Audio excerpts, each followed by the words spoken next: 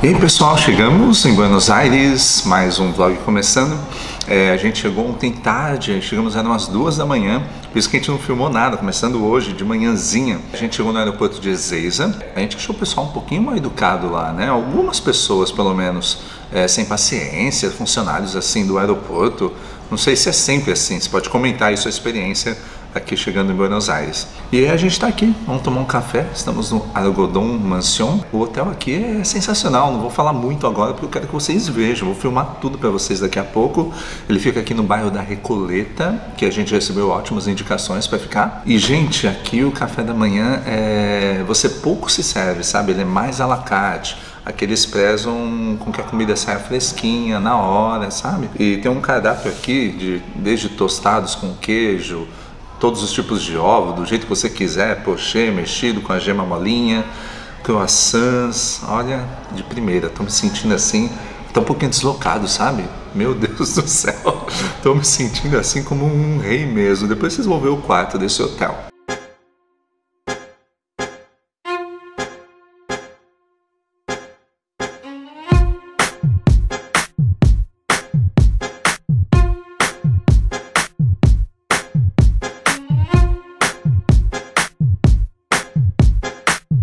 Primeira saída aqui do hotel, vamos dar uma voltinha aqui pelo bairro mesmo da Recoleta. Na verdade, hoje o dia inteiro é para isso. Até porque tem várias coisas para você fazer aqui na Recoleta. Como, por exemplo, uma das principais atrações de toda Buenos Aires, que é o cemitério. Que é onde, por exemplo, está enterrada a Evita Peron. Olha, as ruas aqui são muito bonitinhas, cara. Tudo muito arrumadinho, tudo muito arborido, sabe? Vamos dar uma volta.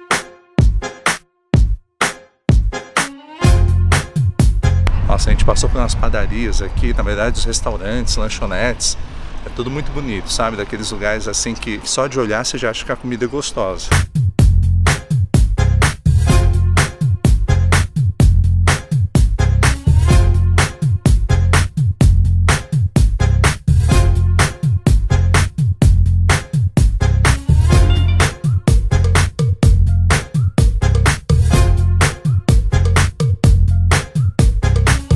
Chegamos aqui no cemitério da Recoleta, não paga nada para entrar. Acho que a grande atração é mesmo a grande, né? não que seja só isso.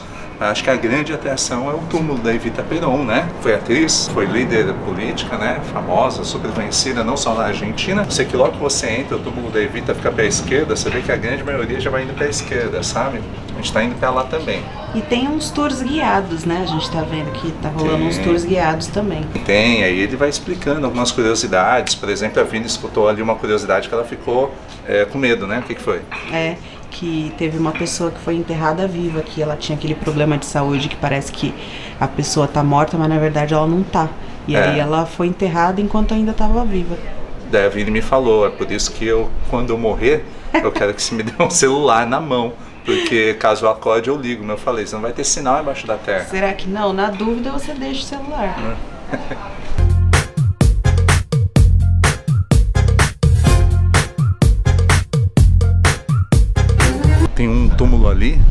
vocês viram, né? Tem uma mulher com um cachorrinho.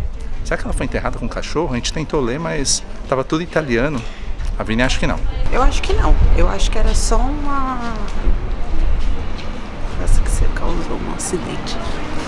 Eu acho que não, acho que era só uma estátua em homenagem à filha que fizeram e provavelmente ela devia ter um cachorro que andava sempre com ela e aí fez sentido fazer uma estátua dela com o cachorro. É, só na minha cabeça, né? Se enterrar com o cachorro, acho que não pode, né? Nem se quiser, será que pode? Acho que não, é. Não? Ah, sei lá, né? Acho que pode tudo, né? Pagando pode tudo. É, se tiver dinheiro. Né? É.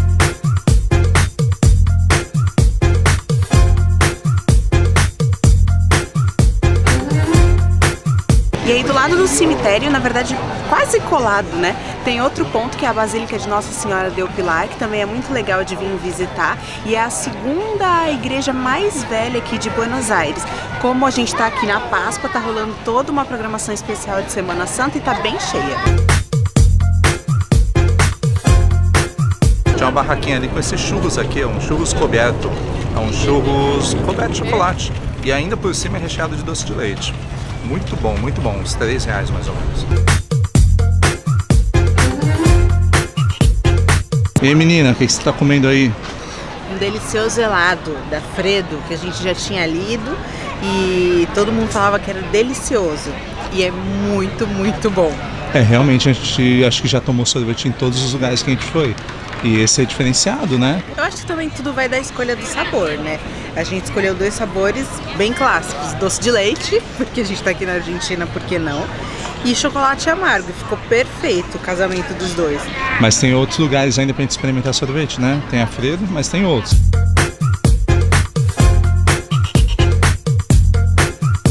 Pertinho aqui do cemitério da Recoleta tem a Floralis, né? Que é aquela flor metálica famosa. A gente tá indo pra lá.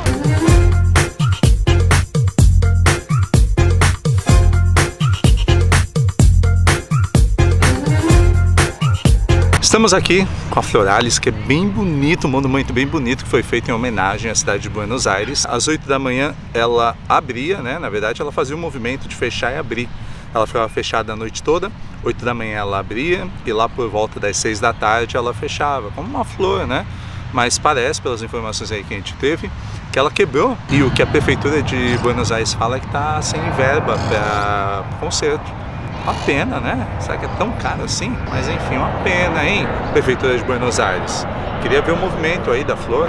É, e aqui, não só aqui nesse parque, mas em muitos lugares aí que a gente andou, é bem comum ver os argentinos aqui deitados, conversando e sentarem, baterem um papo, celular, sei lá.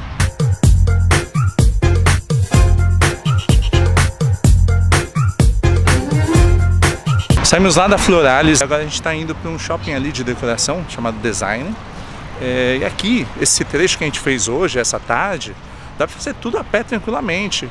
Dá para você ir para o cemitério, depois você vai na igreja, fica do lado, dá uma olhada na feirinha, toma um sorvete na Fredo, vem na Floralis, aí se você quiser você vem para esse Shop Design e depois a gente pretende ir no Recoleta Mall e fechar a noite por lá talvez, ou não sei.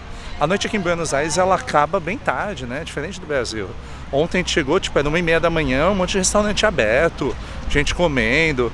Tanto que a gente pretende aí nesses dias em Buenos Aires acordar umas 10 da manhã, tomar café e só depois sair. Mas também as nossas noites vão até um pouco mais tarde que o normal. Mas vamos lá. E agora é hora de compra, vamos ver o que a Vini vai fazer com o nosso cartão de crédito.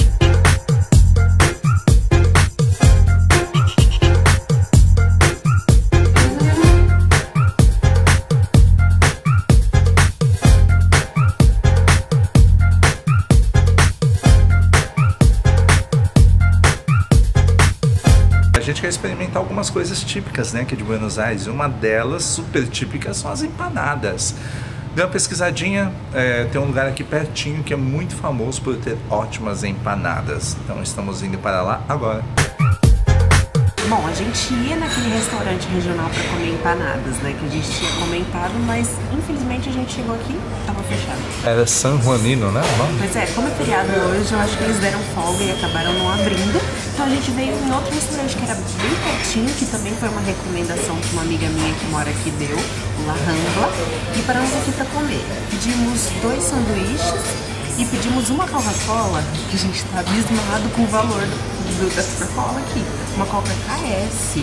Quanto que é uma Coca KS? 350 ml, 10 reais. É, não só aqui, né? Na, em Buenos Aires que a gente está dizendo. A gente comprou uma água de quantos litros? Dois litros e meio. Dois litros e meio foi. 55 pesos, dá quase 10 reais, vai, uns 9 reais por aí. Então aqui as bebidas por litro são muito caras. Eu, eu já tinha, eu não percebi hoje de manhã. Né, já tinha lido, né, que, que refrigerante e água é caro em relação ao Brasil, que o vinho é mais barato. Pois a gente é. devia ter pedido vinho, né? Ah, pois é. Ô, Vini, gostou do La Rambla? O que, que você achou? Não gostei muito não. Não gostou não? Por quê? Bom, eu não sei, né? Tudo vai do prato que você escolhe, né? Talvez ah. nosso erro foi ter pedido sanduíche. Hum. Mas pelo menos. E batata também. Pois é, eu só posso opinar pelo que a gente comeu. Que foi o sanduíche de carne milanesa e pedimos uma porção de batata. O sanduíche achei, tipo, e a batata. Menos, assim, não tinha muito gosto, né? Pois muito é. gosto e não veio um molho assim para acompanhar, para dar um. Pão duro, né? Um tchan, é, tipo, o pão era torrada. O pão era tostado, parecia uma torrada. Imagina se pegar duas torradas, muito, né? Colocar um bife no meio, era isso. Gostava muito de comer. E Mas a batata, batata é uma molhadinha, hein? oleosíssima. Molhadinha no óleo. Tipo, era aquelas caseiras mesmo, sabe? Que você vê que foi eles que cortaram da batata, mas tipo, super oleosa. Então, E coca 10 reais. E ok. coca 10 reais. E o atendi, mas o atendimento pelo menos foi bom, né? Mas aí eu já não posso falar, porque desde que a gente chegou aqui tá sendo surra de gentilezas, né? Então É. eu acho que é o jeito deles mesmo. Você chama o garçom assim, olha que ele vê que tá chamando, ele vira o rosto, cara. É, e tipo, Incrível. você pede a conta, vem 30 anos depois. Ai, É, pois é. Até amanhã, gente. tchau, tchau.